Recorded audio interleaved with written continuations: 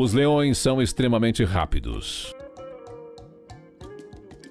No entanto, eles não podem correr a toda velocidade por muito tempo, e muitas vezes não são tão rápidos quanto suas presas. Isso significa que os leões precisam se aproximar de sua presa ou esperar que ela se aproxime o suficiente para pegá-la.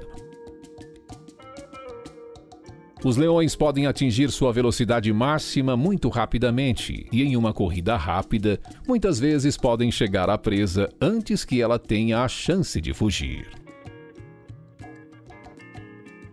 A camuflagem é extremamente importante para um leão.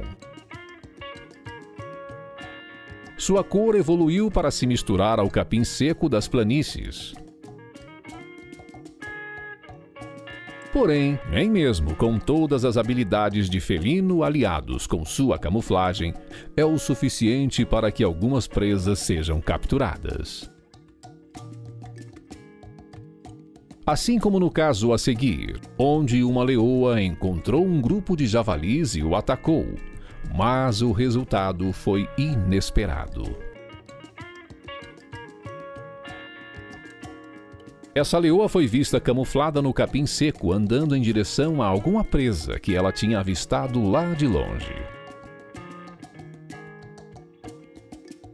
Depois de um tempo, percebemos que ela viu dois javalis que estavam em campo aberto logo à sua frente.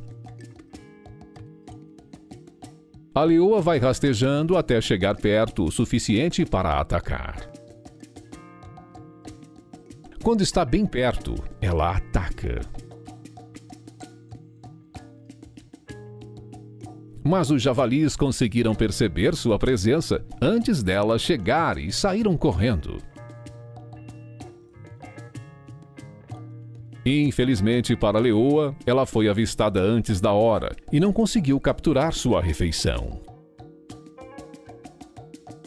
E felizmente para os javalis, eles conseguiram escapar e terão mais um dia até serem atacados por outros predadores famintos.